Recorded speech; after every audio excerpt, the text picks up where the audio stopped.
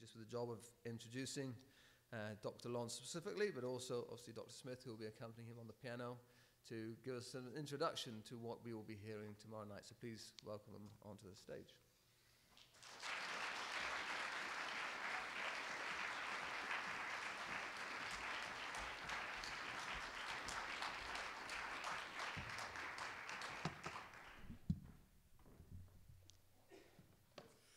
I think this is the first time that I have been on this side of Disputatio, so it's a. I forget how loud I am sometimes till I get in front of a microphone. Um, uh, it is uh, it is a real pleasure to be back at NSA, to be at NSA at all. This is a special place. I hope you never ever forget that. Um, uh, again, my recital tomorrow night, 7:30. It is free, and all selections, I believe, are kid friendly. So those of you with little ones or uh, know those with little ones, please, at your discretion, encourage them to attend. Uh, it's lots of variety, lots of interesting music, and I couldn't ask for a better collaborator than Dr. Smith. Um, the recital has a bit of context I want to share with you before I dive into the actual talk. Um, I've loved a lot of this music that I'm going to sing for quite some time. Um, I learned a handful of the Britten cycle, which, uh, appropriately enough, I don't know if the po- uh, poem that was read was chosen uh, with the goal of fitting, but is a set of John Donne poetry that Benjamin Britten set. Um, I've known those since 2008, and of them since 2008, and then the Vaughan Williams set that I'll be doing since high school. I've known at least of them for many years and never gotten to do them, at least in this context, with this many of them in one place. Um, I've wanted to do an all sacred or sacred inspired recital for quite some time, but have not had quite the captive audience that I do in Moscow and in NSA, people who can both appreciate the level of music making and the beauty of the texts that have been set there. Um, I'm thrilled to share them. Please, please come. Um, my talk today, I want to focus primarily on the ethos of what, of, of what these pieces are. Um, I am an aesthetics specialist, as you might say, in terms of the, uh, the production of the voice and the beauty of the sound that we create. I'll talk a little bit about the technique that it goes into a couple of these. There are some different things that if you are one of my students or have ever seen me work in front of a group or individually in any manner, you know some of these things. You'll be familiar with some of what I will say in that. Um, there's a little bit of background to some of the poetry, some of the composers, um, but you all are probably familiar with John Donne and George Herbert to some degree. I know that when I uh, approached, well, I was just in St. Bridget talking to Dr. Greaser, and he said, What are you performing? And we talked about it, and, and John Donne came up, and he, his eyes got big, and he looked at me and he picked up his book of John Donne that he had right in front of him. And so, so I thought this was a, a very appropriate, the, the fact that we get to celebrate these, this, this wedding of, of poetry and music is really special. Uh, most of these composers were not Christians. Uh, Benjamin Britten, in fact, lived as a homosexual. Um, I'll get into that a little bit later. Uh, Vaughan Williams was not a Christian. Brahms was not a Christian. Moses Hogan, uh, who composed or arranged, rather, the spirituals that I will be singing, was the only one who professed any kind of faith at all. But if we believe that uh, all things are Christ's, and we believe that God gets glory whether or not, the person intended for it to happen. All things do point to Christ. And so I love that I can do this, even with, you know, these texts at least have their, their purpose was to glorify God and praise Him. Um, I'll give a small, uh, small examples from a number of different selections, highlighting the, the moments, the features that are representative of these composers and that also highlight the specific moments or moods of the texts that they are set to. Uh, the goal in doing this is to help you become more familiar with uh, the, the, the, musical features. Some of you will be familiar with some of the things that I will say, given your uh, various levels of musical education and experience, but I really want you to be able to listen for the musical features that highlight the mood, the message of the text, and even in the case of Britten, in a couple of areas, the specific objects or things that he is trying to illustrate with especially the accompaniment uh, features there.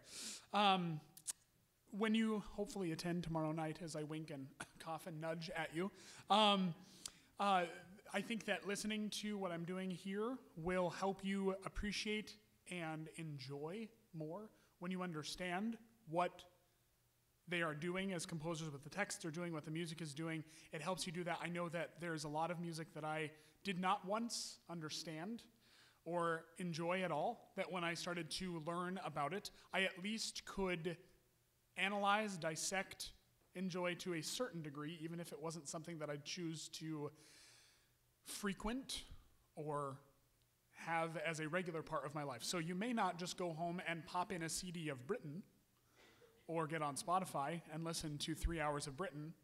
You might pop a brain cell if you do. But hopefully you will be able to enjoy it differently and more as you listen. The first, uh, I'm just going to go in order of the recital. The first set that I'm doing is from a cycle by Johannes Brahms called Vier Ernste Gesänge, which is four serious songs set to various biblical texts. The two that I'm doing, the first is from Ecclesiastes 3. Yes, I got that right. Ecclesiastes 3, and the second that I'll be doing is from 1 Corinthians 13. Um, this English text was set, uh, um, well, it was translated, it's a, the Martin Luther German translation that then is translated back into English, back into German. There's this sort of back and forth that goes with that. But, um, excuse me, Brahms was a late romantic composer. He was born in 1833 and died in 1897. So some of the features that you will hear in this are dense, really big accompaniments and a lot of chromatic harmony um, and a lot of variety, a lot of back and forth of, of key and of harmonic features there, which is very typical of that. Um, I got introduced to these in my doctoral program by my song literature professor. When you're a voice student, you take, as with any uh, instrument, you take a literature course, or if you're at NSA, you take many. And we had a song literature course that we just study the standard canon of, of song repertoire, not operatic repertoire, but, but song repertoire. And these, my, my professor said, these are low voice songs. They are for low voice. Low voices sing them. Only low voices. But now I get to. Because this summer, because I definitely don't have one of those. Um, uh, this summer for music camp, Dr. Erb approached me with the last piece in that cycle, um, which is titled Denn es gehet dem Menschen, which is from Ecclesiastes 3, That which befalleth beasts befalleth men. Uh, and he said, Hey, there is a, uh, a high key version of this online. Check it out, see what you think. And I started singing it and went, This is some of the most rewarding music that I've ever sung. I want to do more of these. But when I went to sing them, they were mostly still too low, even though they're a major third higher than the low key. So I chose the two that I could sing successfully for you. Uh, the first is is uh, make sure that I get my my titles right. Denn es gehet dem Menschen again. That which befalleth beasts befalleth the sons of men. Um, translated into German, as I said, uh, for that which befalleth the sons of men befalleth beasts. As one dieth, so dieth the other. Yea, they have all one breath so that man hath no preeminence above a beast, for all is vanity. All go unto one place, all are of dust, and all turn to dust again. Who knoweth the man, uh, the spirit of man goeth upward, and the spirit of the beast that goeth downward, downward to the earth.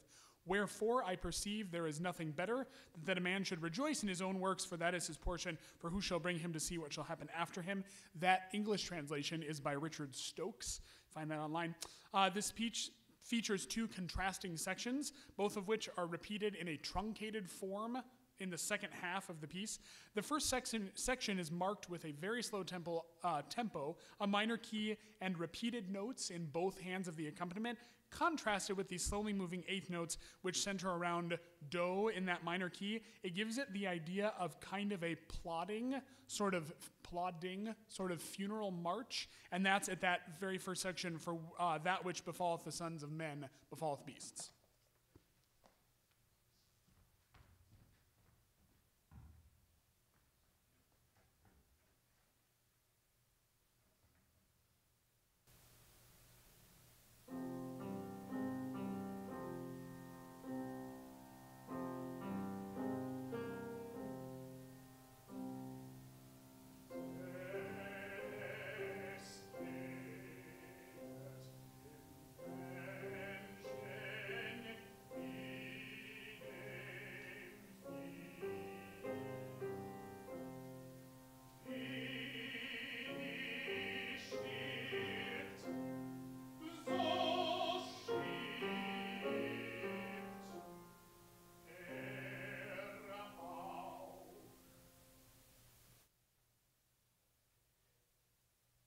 Working? Yes, good.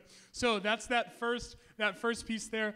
Um, the B section of this piece contrasts the uh, opening motive with an almost rollicking triplet eighth notes uh, in the accompaniment against a rapidly upward moving melody in the voice, which highlights the text that all go into one place, all are of dust and turn to dust again.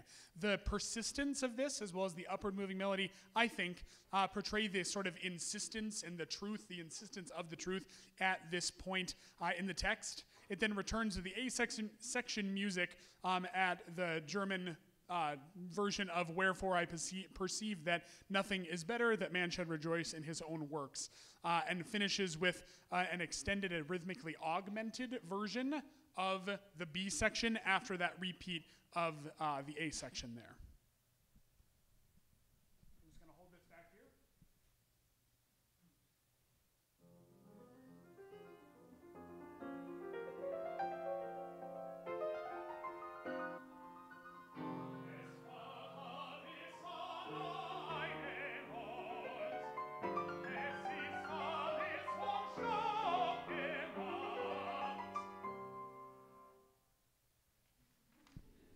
I love doing these sorts of things because you get these little snippets of things and you go, and where does it go? I just love that. Um, so that's those are those two contrasting sections. You'll hear much, actually, you know, of course, larger versions of them tomorrow if you come. The second piece in this set I'm performing is, like I said, the one that Dr. Erb gave me this summer to sing for music camp, and it's from uh, 1 Corinthians 13, Wenn ich mit Menschen und mit Engelzungen redete, which is though I speak with the tongue of men, tongues of men and angels. Uh, and this, this, uh, the, the theme of love in this true biblical love is highlighted by really wonderful, thick, rich, very pianistic accompaniments that are overwhelmingly in major keys for this.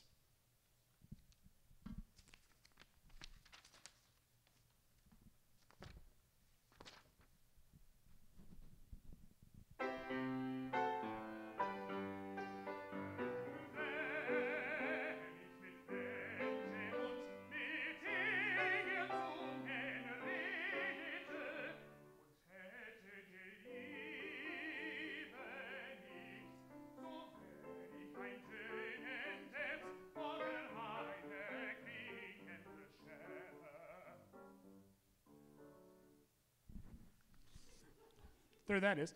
Um, and then the, the B section changes somewhat in rhythmic content and density. It's not quite as big, it's not quite as thick. Uh, it becomes much more lyric. So instead of these big, leaping, angular melodies there, uh, we get a much more uh, consistent lyric legato. Those of you that I talk to that talk to about that all the time in your lessons, uh, those vocal lines, which to me uh, brings out the the nature of contentment in this text. So Dr. Erboy says that of course it matters what what music what music is doing to convey the text. You can't just put any old music with any old text.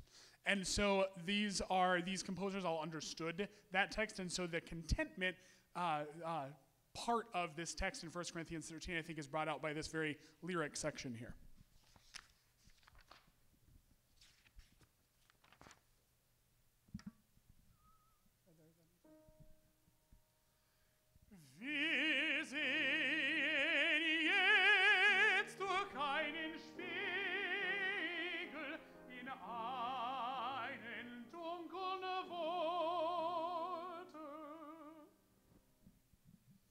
So that's though I look through dimly is right there. Um, so again, much longer sections of all of this, and it ends with a kick in high B natural. So please come. Um, the second set in this recital is the uh, Vaughan Williams five mystical songs. These are the George Herbert poetry. Uh, these uh, um, Vaughan Williams sets many of these texts with very similar approaches to Brahms in terms of the way that it's a mood rather than a direct representation of something. It's sort of an overarching thing there. Um, the the it's not as quite as thick, at least in most most places, as the Brahms. There's a couple that are that are pretty adventurous for the piano, and Dr. Smith is a big trooper to join me doing all this. Um, uh, I will focus on three of the movements: Easter. Uh, Love Bade Me Welcome and Antiphon. I was actually slotted to sing the Easter movement with the Christchurch Choir two years ago, but then my daughter was born. that day. So I didn't do that. Um, so so it's a treat to get to do this again and to get to do it with a small group of my students. Uh, at least about maybe a little over half are either current or former students from uh, from NSA. So I'm really excited to, to be able to do that. Um, the harmonies and rhythms in this accompaniment uh, are again not quite as adventurous as the Brahms, but are are just lovely. The the uh, a couple of these texts are pretty special to me, and I'll talk about that in a minute there. But the first piece is called Easter, and it is exactly what you think. It's the calling. the The text starts, "Rise, heart, thy Lord is risen." And it, and it starts with this upward moving fourth with this wonderful, rich, continuing continually richer accompaniment. And uh, the, the chorus echoes, there's sort of this quasi antiphonal thing going on between the soloist and the chorus, which I think these pieces, four of the five of them in this cycle, have chorus, which I think is especially. Uh, poignant and effective here because there's the corporate nature, uh, the corporate worship that we get to experience uh, being portrayed in this, being called out to, and, and then calling back here. Uh, for the first the first bit of this first one, uh, Easter, what I'm going to have Dr. Smith do is I'm not I don't have my whole choir up here as there is no one behind me, um, and so he's going to play uh, the accompaniment with me and then play the choral echo that happens after I sing.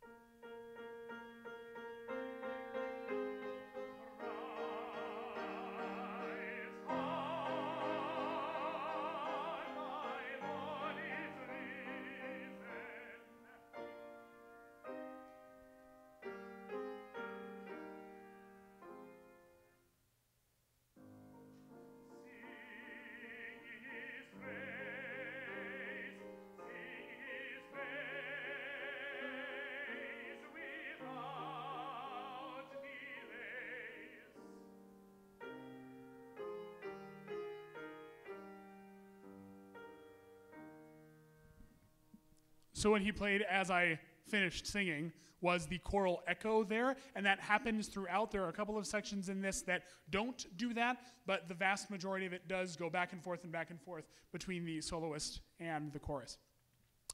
Um, the uh, second piece that I'm going to do is uh, th- what has become the maybe one of the most meaningful, special pieces that I have ever sung in my life. Um, uh, the the poetry. I have a hard time getting through a couple of sections of this. It's really it really is. Um, uh, speaks to me very deeply to, to the, the persistence and tenderness of uh, Christ seeking after us, God seeking after us.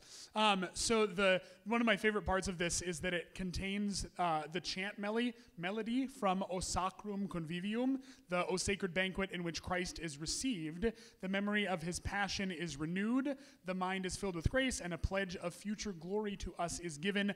Alleluia.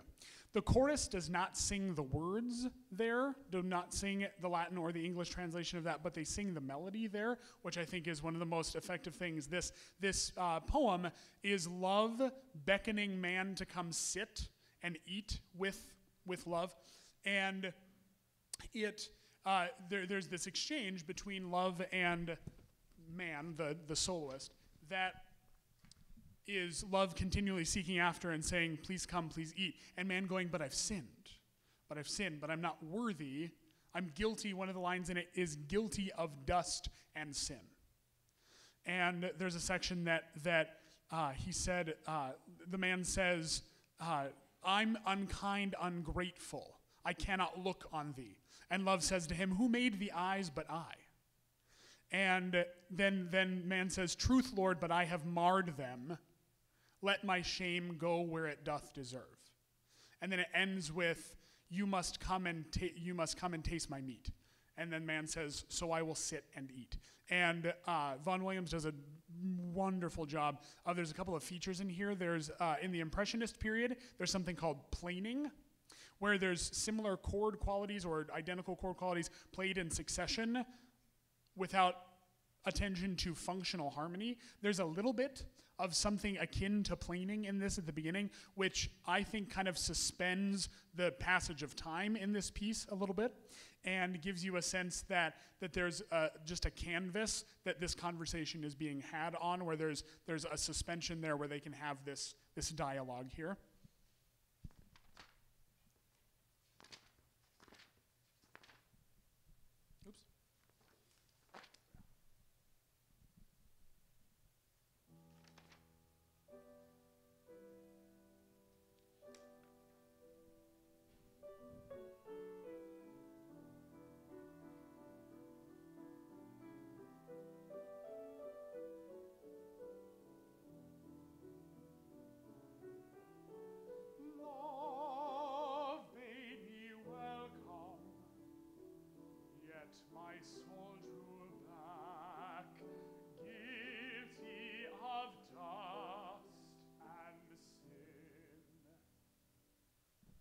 So that's the opening passage in that, and that's what much of it sounds like. It's this lyric melody in the voice with this planing quality in the accompaniment here.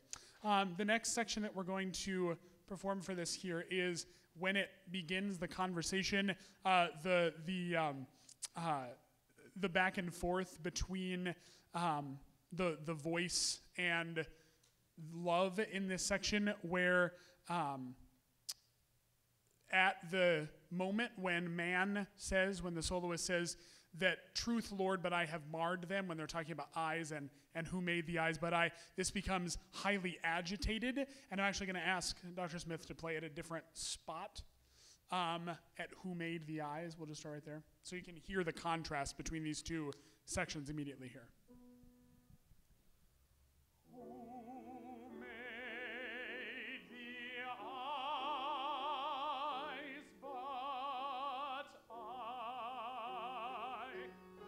Truth, Lord, but I have marred them. So we get this little bit of this in the piano where it becomes suddenly agitated. So Vaughan Williams is, again, bringing out that agitation in the poetry there. Uh, the final section we're going to do here is at. Um, uh, when the chorus comes in with the O Sacrum Convivium melody from the old chant, I'm going to have Dr. Smith play the accompaniment, which contains the melody. And you, if you're familiar with any of that, you may hear it. But then I'm going to ask him to play it just the voices, just the chorus part after he plays the, the whole bit.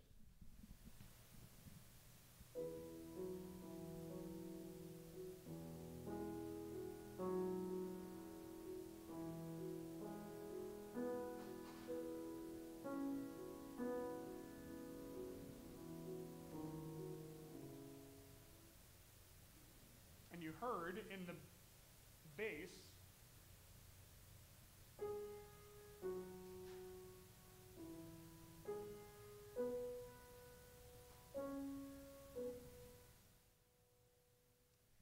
And at that point, after the chorus does that, that's when love says, You must sit down. So there's this invitation to the meal that you hear sort of foreshadowed in the accompaniment and in the, the chorus singing behind that then is uh, confirmed by the vocal line there. Um, this one, please come. Please come. This is a special piece. The final, uh, final number of this is called Antiphon.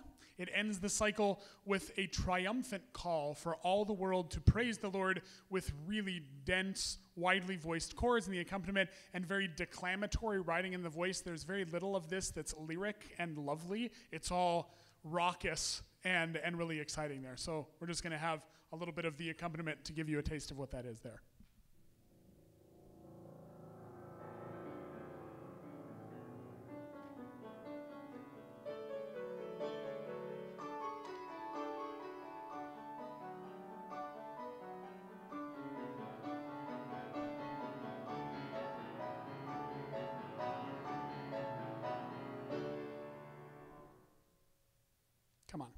So the the and then you hear the choir sing, "Let all the world in every corner sing, my God and King." Right as soon as that ends, and so that's I think that's the most incredible ending to this cycle because it kind of takes that corporate worship and and corporate confession uh, feature of of a lot of this and ends with I mean, we win in the end, right? And so it ends with this, this triumphant, victorious uh, feel in the music there when we proclaim uh, that we should praise the Lord there. Uh, that ends that cycle, and then the the second half of the recital, there's an intermission at that point, and then the second half of the recital starts with Britten's cycle, the Holy Sonnets of John Donne. There are nine of them. Five of them I do not like. I just didn't like them, so I didn't sing them. Um, I I started to learn them, and I went, yeah, these aren't good. I don't like this. Um, used to be my favorite composer, but anymore I've found other. I still really enjoy a lot of what he does, but but these four are really all really incredible, uh, incredible texts and incredible music. Um, I've done a lot of research, a lot of writing, a lot of uh, I spent a lot of time with Britten's music. I did a paper on uh, one of his chamber operas, uh, big my my sort of uh, my opera history course that I took. I wrote a paper on the themes uh, in, in the text and the music. He, again, as I said before, he lived uh, openly as a homosexual. He was raised, though, in a Christian home, at least by his mother. She was a Sunday school teacher. It is widely known in our circles, uh, in, in voice circles, that he was, he was taught well at home, but still lived in disobedience that way. Uh, so there's a, there's a lot of his texts that he chooses that are themes of guilt and sin and struggle and death. There's a lot of that. He writes specifically all four of his chamber operas. So chamber operas are operas without a big chorus. There's a small a small cast of this and then without a big chorus behind behind the principals. So his his four chamber operas are all about something that he felt was was thrust upon him that he didn't choose. And though he did, there's this, there's he he understood, he did choose it. But he understood the struggle in that. So you hear a lot of that. And then these holy sonnets of John Donne were were actually dedicated to his his life partner, Peter Pears.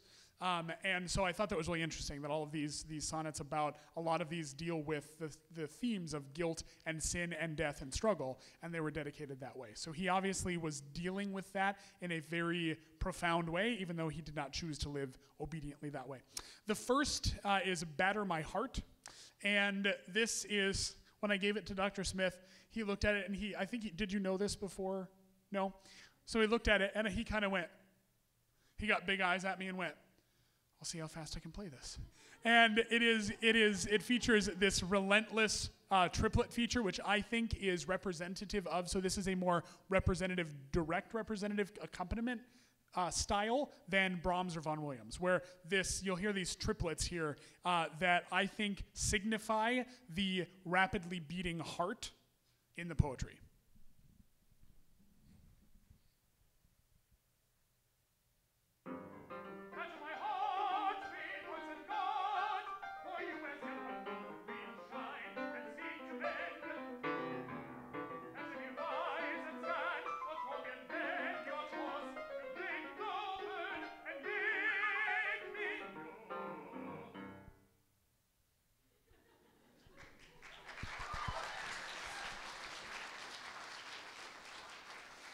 The uh, Britten is really a master of tessitura in pieces where um, Peter Pears, the tenor that he wrote all of almost all of his male voiced music for, had a really high high instrument, sort of similar to mine.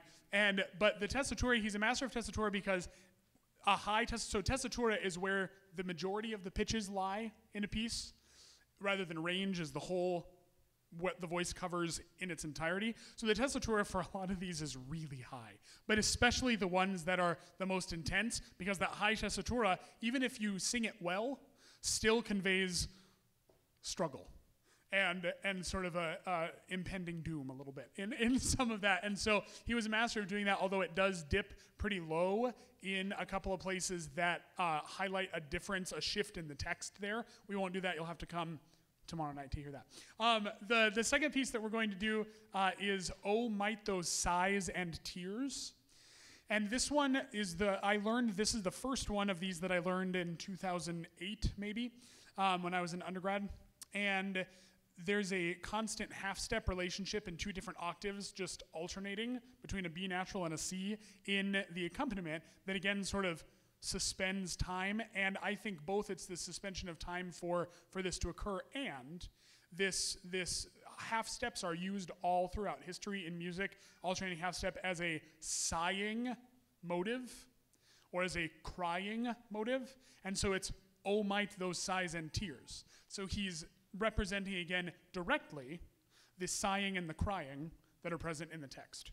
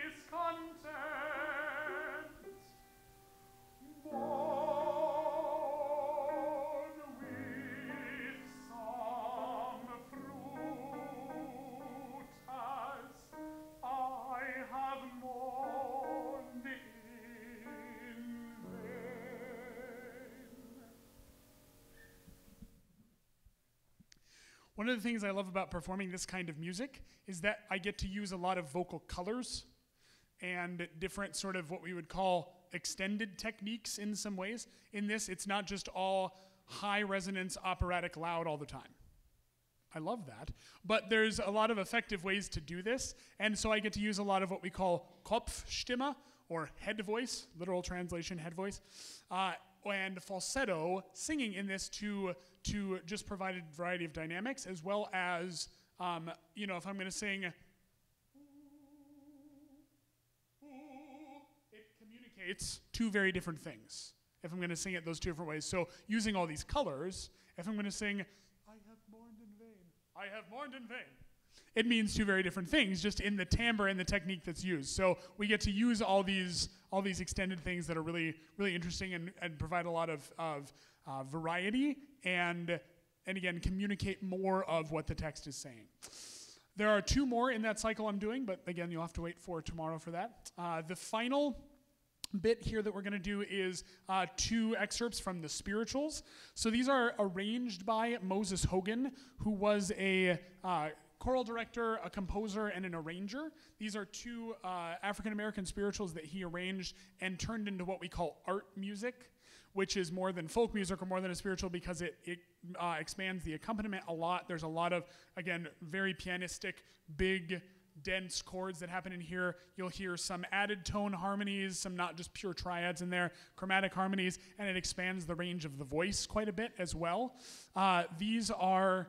Um, these were unexpectedly special to me as I learned this music, and I'm really excited to share. There's not a lot more to say about them, but just enjoy these couple of excerpts here.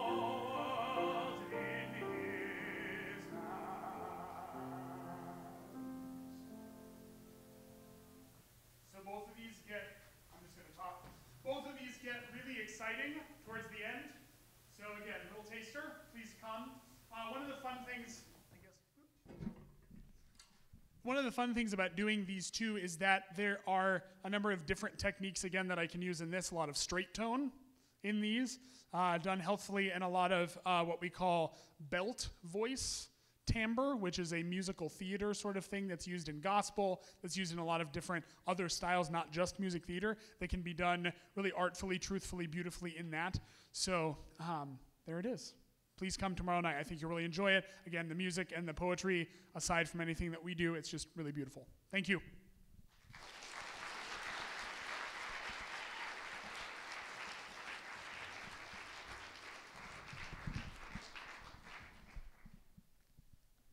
Okay.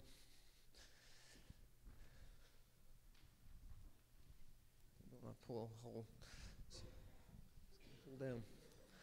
You're welcome to sit down, Dr. Smith. Well, you're welcome to join us if you want to. No, no, no.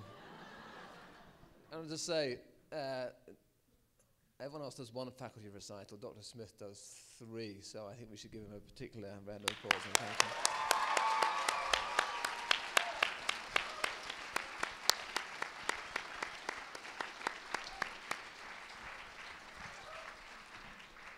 So it occurred to me if, if, if there was such a thing as purgatory, and if there was a special place for musicians, I think it would involve being questioned by me. Someone who hasn't got a clue what they're talking about. and you have to sit there politely and nod and go, yes, good question.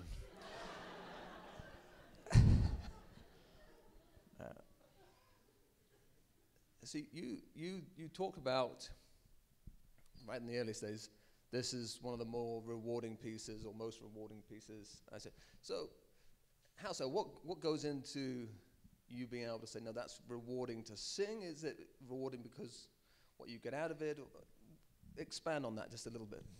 There are many ways that that can be, many areas that can be applied to. For me, in this, there are many different ways that that manifests. Um, when I picked the music, I picked it because I had wanted to do it because I just enjoyed listening to it. But as I began to learn it and spend time with the music and with the poetry and rehearsing with, with Dr. Smith, there were there were many things that came out of that. The the um, the last couple of years have been very tumultuous for me, and the promises of Scripture that are true in that that are that are brought out in a lot of these poems and in these texts was um, I didn't expect to be blessed by them the way that I was, so there's that. Um, some of them are pieces that, as I have talked to other people about them, there's a couple of pieces on here that some of my colleagues and friends in town have said that piece means something really, really special to me and my family based on some things that have happened. And, and then there's things that are just plain fun to sing that I get to be loud and sing high, which I like to do. You get to be loud, so you enjoy it. Yeah, okay. Um, so I think one of the uh, the things that live with the students from uh, Pastor Apple's teaching, one of the things he talked about was olives. Some of you all, some of you will nod. He didn't like olives, but he assumed that the problem was with him rather than with the olive, and therefore he worked hard, and now he likes olives. Okay, so there is sense in this question. Trust me. Um, you questioned some of the accessibility of Britten, and some classical music is hard to get into. how do we know whether it's an olive that's worth working at to taste, or how do we know just, just don't bother? You know, what is it that you would say determines we need to put effort in the problems with us rather than with the music? Part of it is a lack of musical education. You get people who say, I just don't like classical music, bar none. And you say, well, you ask them, well, why is that? And they'll say, I don't. You know, they have this sort of, they just have no, they have no uh, articulate answer for why or no, no tangible reasons. So part of it, you know, as you become more knowledgeable about music theory and music history and, and poetry and these things, you'll begin to be to develop a palate that says this has these qualities in it, and you might at least enjoy portions of it. And then a palate that you can say, okay, based on what I know about about scriptural truth, about good poetry, about good um, harmony, about text declamation, all of these things, you can say this piece does that at least effectively, or this piece does that ineffectively. So that the the process of becoming more discerning with your palate and with your understanding is by having more music education. Some of these Britten pieces are not beautiful, but they are meant to not be beautiful. Um, the, the first one that I started to learn and I just didn't enjoy was Oh My Black Soul. Oh My Black Soul, thou art summoned by sickness, death's herald and champion, I believe is the, are the lyrics to that. And it's really ugly. The harmonies are just not beautiful, but they're not meant to be. It's meant to convey that this is the feeling of deep guilt and fear in, in one's own condition. So, some of that you will hear and say, This is not beautiful. I taught the, the 18th and 20th century score analysis courses when I was here two years ago, and we listened to a number of pieces that were things that we would not pop into our radio in the car, our CD player in the car, but but were things that did communicate a truth about an event. There's a there's a piece called "Threnody for the Victims of Hiroshima," which any any uh, classical musician knows is one of these representative pieces from the Western musical canon that is just terrifying. It's cacophonous and overwhelming, and so it's not something that we would listen to and say, "This is a great piece of music that I'm going to be." blessed and edified by, but it does communicate something about the horror of that event. Does that does that answer part of? Yeah, okay. So, not all music is there just to entertain. It's would- it I- communicates, would- yeah. expresses the whole range of human emotion. I would say quite not the opposite, but there's you know there's some music that is just nice to listen to, but but discerning ears to be able to glean truths from what's being communicated. So uh, let me uh, push you a little bit further on the Britten, openly homosexual, has a Christian upbringing of some description, um, and writes music for his, you know, uh, partner, whatever you want to, to call it. You, uh, the fact that he's putting these pieces of music together, you interpret as relating to him struggling with that. Um, is that a required interpretation? Could someone come along and say it's just him, you know, rebelling and saying, "Yeah, this makes me feel guilty and I don't care." You know that. You know, in other words, how do we uh, know what? You know, how do you make that interpretation? Is that because you want it to be the struggle, you know, or do you think no? There's lots in his biography that suggest there is struggle going on. there you could make it, there are plenty of people who do make the case that it's just open rebellion and there's no there's no internal dialogue happening um, my my interpretation my choice of of getting that from my readings is that I've done I've done a lot of readings and I've actually my one of my accompanists and language coaches in my undergraduate program, her husband was one of his partner's voice students. So they're as close to Britten as you could be without knowing him personally. And she would talk about a lot of that element of things being being present that she's read. I mean, sh- she could write her own biography about Britten, but but this woman had read all of the material available, and so so I think that that based on that personal account and based on that there's so he he did so much. It wasn't just an isolated instance here or there. There are there are again all four of his chamber operas, all of his. There's three or four song cycles that I can think of that are um, uh, all to do with that. And so somebody absolutely could say, I went to the I went to the University of Florida for my master's degree, and and I studied with with 100% non-Christian professors across the board, and so their interpretation of things was definitely very different from what I would have would have put into that. But but that's how I would. That's why I think that that's true is because there's a lot of a lot of musical and uh, personal evidence towards that. Is there are there guidelines for you as an as a as a Christian and an artist who say in I won't sing that because a the person who wrote it and why they're writing it, and what are those sort of guidelines? the the guidelines so far that I've put you know put up for myself with a lot of this is that if something is being celebrated, that is sin, that is open sin in a piece, um, or if the purpose of a piece, there's uh, uh, Bernstein wrote a mass that is uh, horrid. Uh, the the I won't go into all of the all the details for that, but it's a it's a mass. It's a but it's not a mass in any in any uh, Christian sense of the word. Um, so I set that as yeah. Is this is this piece celebrating something that ought not be celebrated, or was the express purpose of this piece obviously either by the composer's own admission or by the content of the music made to made to to celebrate that. Um, and I there again, there's some of of some music, some pieces, and some situations that I've gone, no, I you know I, I'm not comfortable seeing that, or or a student brings me something from a show, not here, my students in Denver, um, from a from a show, and I go, I'll coach it. All right, you know, like ugh. so. But but those pieces that that again, I, I would say that's the the most definitive line for me is something that is expressly for that purpose or explicitly celebrates sin somehow. Um, last question from me uh, on uh, Kopfstimme, which was on the tip of my tongue when you were talking. Um, uh, how do you how do you go about deciding how to sing a particular line? Obviously, the composer only gives you so much direction.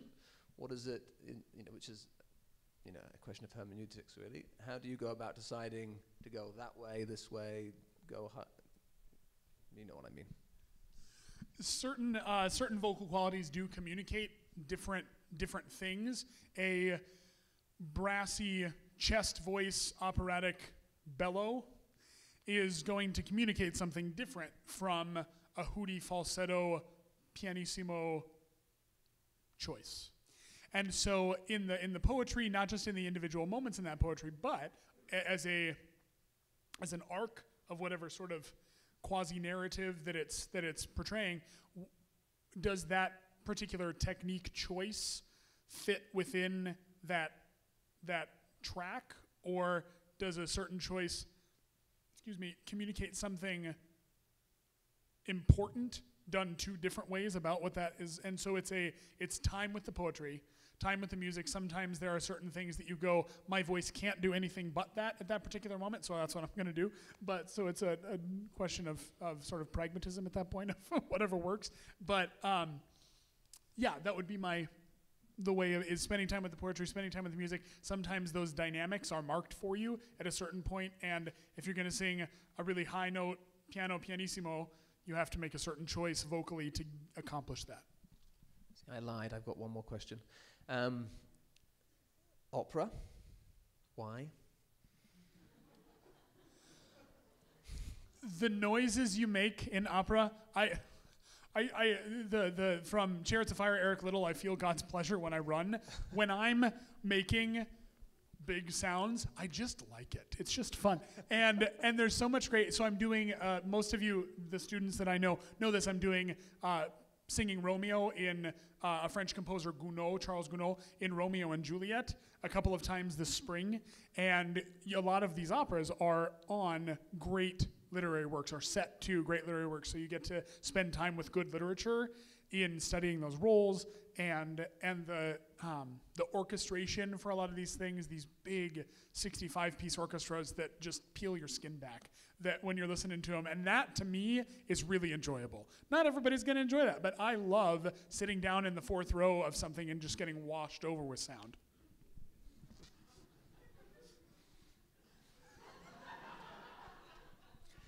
Uh, Bobby has a question at the front. Daniel, who's uh, hands up? At the, ne- anyone else? is- Who's going to be going after Bobby? Knox. You won't have to walk far for that one. Did you know any of the texts you're singing before you learned the music for them? And um, more, more to the point, how does the music change your understanding of the text? What has it done to the poetry? I knew the the two, the passage from Ecclesiastes and the passage from 1 Corinthians 13. Um, I knew those. Uh, I didn't know, I hadn't studied John Donne or George Herbert before I had gotten there. I knew the spirituals from, from other settings there. Uh, so, very little of the text. I knew, I may have heard of George Herbert at one point in the past, but I, I did not have a classical education growing up, so I did not have the privilege of studying these as you all do. Um, the, the studying the music has changed my my understanding of the texts in it's just one aspect of these texts that they bring out. You, there are other musical choices I believe you could make that would communicate something different and probably equally as important. But the the that that love bade me welcome in the five mystical songs for Vaughan Williams. That one in particular, I keep coming back to that one for a number of reasons. But but it the the deep bone deep peace that surpasses all understanding. I think that's communicated really well in the music.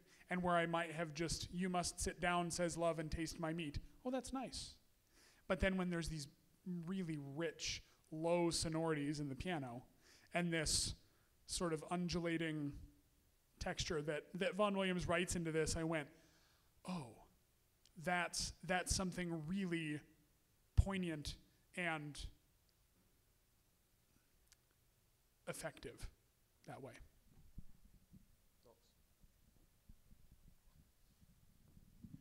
When you were talking about the Moses Hogan pieces, you mentioned belt voice. What is that? It's one of my favorite things to talk about. Um, so, belt voice is traditionally thought of as some of you know this from being my students, some of you may have heard of this uh, you know, in other settings. Belt voice is traditionally thought of as chest voice dominant singing for women especially. But belt voice is a timbre, it's a brassy timbre. It's a it's part of it is a is a mechanism choice that way. Um, part of it's a physiological difference between two different kinds of resonance in singing, which I have not enough time to go unpack all of that right now. But uh, so belt voice and, and belt voice is appropriate for again, especially like gospel pieces because of the culture uh, out of which they came. Um, the the African American generally the voice is really chest dominant, just naturally. The way and then the the the tradition, especially of spirituals, came from came out of the the communication between the slaves eh, during you know Civil War-ish era. So that was just this raw, visceral voice that they were using, and that's what they had. And so to use that kind of voice more in that is more authentic to where it came from. Hey, can you give us something in belt voice and something not belt voice so we can hear it? Uh, yes.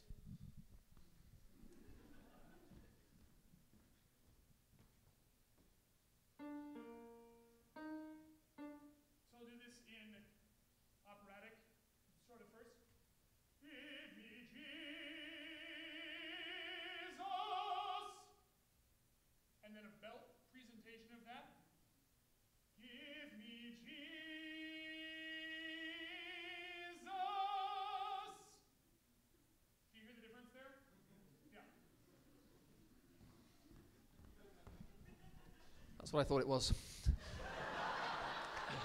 I knew you were asking for them, really. purely, purely. Uh, Alethea and then Luke at the back, right?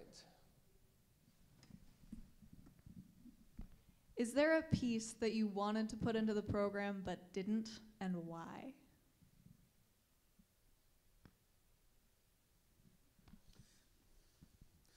Most recitals have at least one opera aria in them.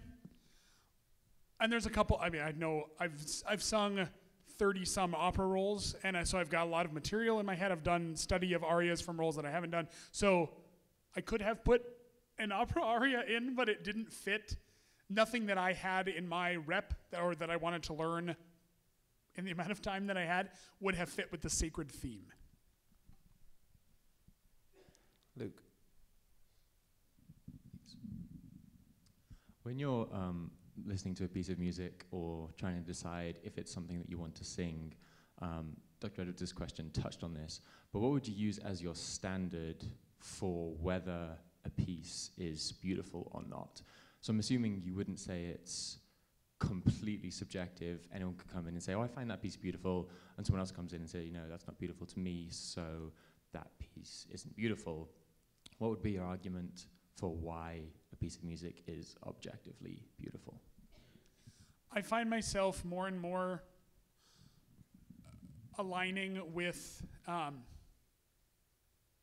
Dr. Erb's some of Dr. Erb's thoughts on this of does it does it either reflect something that we know of God's character in in in who he is or in how he's created the world or does it very obviously intentionally communicate something that's not that, but it but it knows that it's doing it. It knows and and it's saying that this is bad.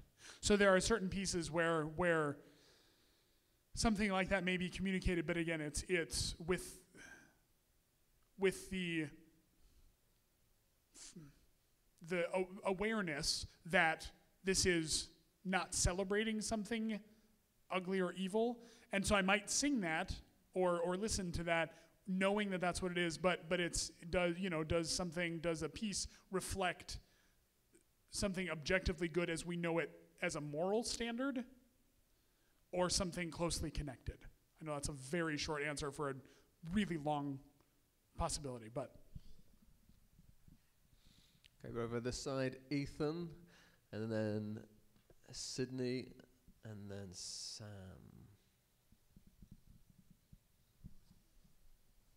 Is that right? Is it Sam? Yeah.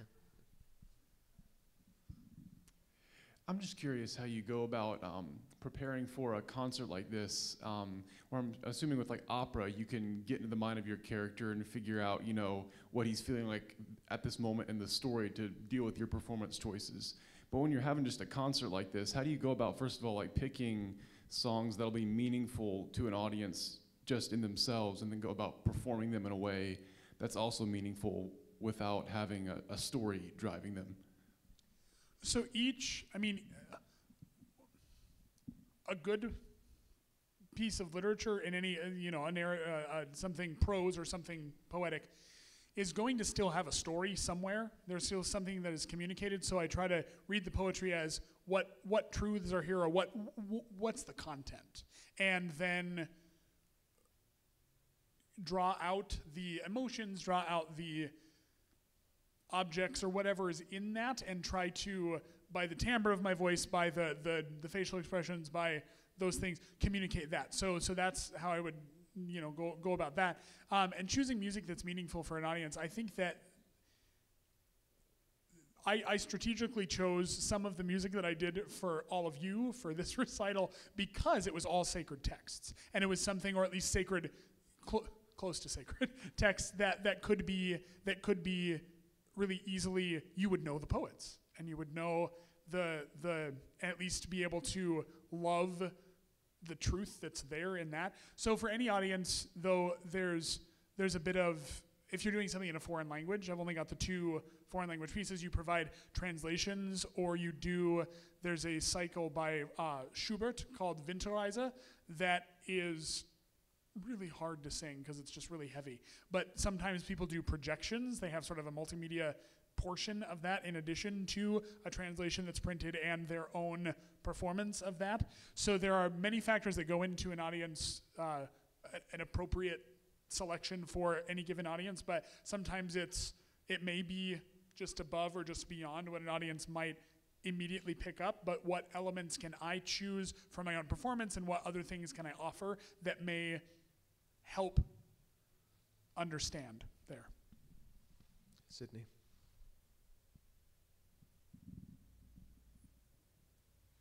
So you mentioned at one point a group of secular professors that interpreted a piece of music differently than you did because of their worldview. Um, and singing Brahms, who is an unbeliever, and you interpret that and sing it differently because you're a Christian. So, how much of your interpretation of a song should rest in your Christian worldview, and how much should you keep in mind the original intention of the composer? Um, in other words, should the meaning of a song end in the writer or the singer? And then, secondly, how do you remain self aware of your bias and perspective and sing in a way that glorifies God while still remaining true to the original intention of the piece? Good questions.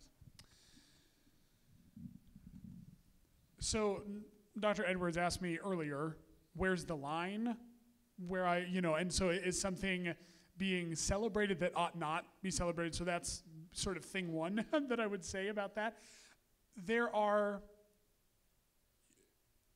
we, you know, as, as lovers of, of the classics and of, and of a lot of culture that's come through that. We read things that were not written by Christian authors and celebrate the good elements of story, the good elements of poetry, the all of those things that, that you're doing here. And so I try to again discerningly, at least in, in a lot of this, say, is this is, is this celebrating something that should not be?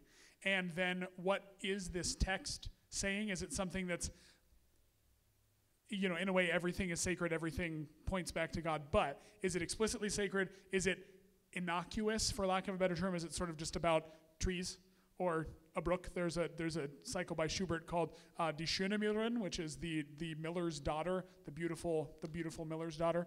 And it's all about this man falling in love with this daughter. Well, that's a fine thing do I make choices that emphasize the moments in that that maybe are not godly? Hopefully not. You know, do I or or do I do so knowing exactly what I'm doing for a very specific reason? Maybe. Um, so that would be thing two is how you know just just examining that way. And what was the second part? Sorry. It was to do with uh, author, intention of the author, composer, or the int- your intent. You know, what you get from it is what drives your. So again, discerningly, this is all this is all with a several grains of salt. Um, hopefully, we can for for certain things. Certain things ought not be touched, but certain things, hopefully, we can redeem some and take great music because r- all of that is great music done with by the masters of composition of the last 500 years. So, can we redeem it in a way that we're going to sing this with the knowledge that maybe it was not written expressly for the glory of God, but can we, again, discerningly, hopefully take this and celebrate what is beautiful and what is good about it and, and thank God for it? So when you sing the Britten piece, do you? I mean, you've got two authors really. You've got the composer and the author of the sonnet, John Donne. Do you? Do you think I want to sing in such a way that that Britten intended, or that John Donne would have been pleased with, and right, and and and his intention, or does their what they care about not matter in how you perform? I think the answer is uh, both a little bit. You, you have to take into consideration what, what the poem is saying, what the story is saying, what the composer wrote, and then some of it, I mean, uh, I could go off about this for a while, but, but some, some performers just completely ignore everything about what the, what the composer and the poet, they perform it in just a raucous, uh, careless way. That's not what we want to do, but, but trying to, again, extract from the music and the poetry what is good and what is beautiful and and emphasize that and then perform the things that are not in the way that they're not and and recognizing that with open eyes Okay, Samuel. So you mentioned that Britten used to be your favorite composer. So who is your favorite composer now, and why did you change your mind?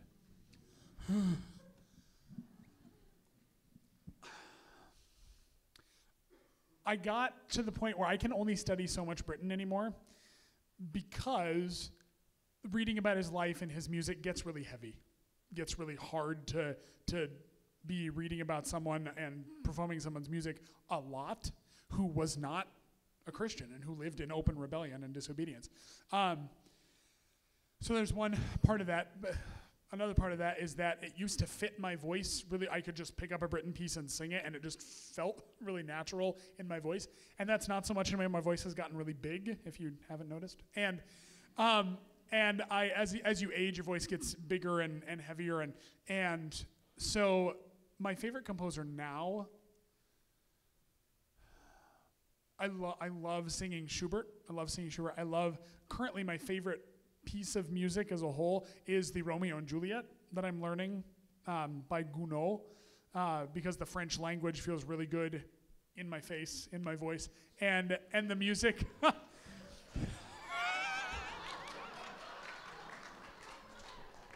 That's fair. Um, and and the music is some of the most lush orchestration that I've ever heard. And the more I listen to it, and the more I go through the score, I'll be listening to it in my in my in my headphones, or I'll put it on my uh, speakers in the car, hook up my phone and put on the speakers, and I find myself either walking down or driving down the road and going, "Yeah." Oh, that moment was oh oh how rich was that oh how and so so there's that sort of visceral sense that I get from this music that so right now that's my favorite but I would say that I, I love listening to and performing Schubert a lot I love Vaughan Williams um, I've never sung anything of Vaughan Williams solo voice music that I don't enjoy Do you have a favorite singer at the moment? There are two. There's a soprano, my, my students know this because I've showed almost all of them. Uh, Lisette Oropesa is her name. She actually studied with the same teacher that my doctoral mentor studied with in Louisiana, and she is absolutely spectacular. Everything she does is, is flawless and, and so effective. And then there's a tenor named Bryan Hymel that is a lot of today's opera singers sing with really terrible technique and they blow themselves out by the time they're 45. And so they Lisette Oropesa sings with beautiful technique, really sustainable technique, as well as Bryan Hymel. He, they are my two, I think I would say my two favorite living singers. Um, some of you may know the name uh, Maria Callas. Um, some people that just love classical music. She's she died. I forget, maybe in the 80s she died. Um, but she was one of the what we call the golden age of opera, which was from about 1920 to 1970 or so is where the is where that sat. She was one of the greatest stars of the golden age of opera, and everything she does, there's recordings of her that you think I didn't know a human voice could make that loud of a sound or that that cutting of a sound. And so so I like the I like the big loud stuff. Uh, Dr. Grisa, at the back, in the middle.